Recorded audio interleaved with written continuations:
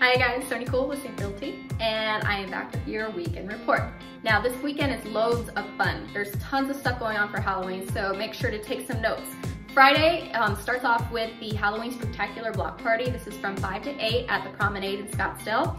Um, they're gonna have slime stations, they're gonna have um, pumpkin decorating, face painting, things along those lines, so check that out. And for the adults, on Friday at 10 p.m., the Riot House is having a haunted house. Now they are putting this on with Yandy.com. Yandy.com is a great place to get your costume, so if you haven't already gotten your Halloween costume, go and check them out.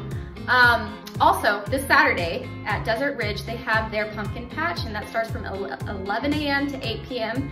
Um, but between the hours of 2 and 4, they have complimentary face painting, so bring your kids out for that. That'll be a lot of fun for them. And then on Sunday, if you are the adventurous type, there is a hike going on sponsored by Camelback Culture.